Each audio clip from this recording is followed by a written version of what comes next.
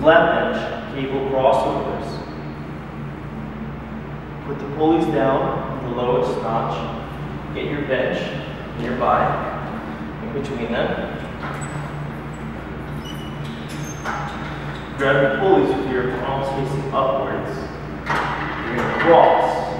Get a good cross. Squeeze hard. And go down. Get stretched. Up. Cross on the other side. Top. Back down. Cross. Squeeze the top. Back down. Now do it together. One. Two. Three. Four. Five. Six.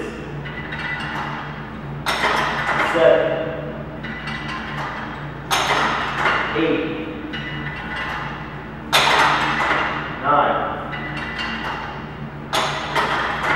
Ten. Eleven. Twelve. Thirteen.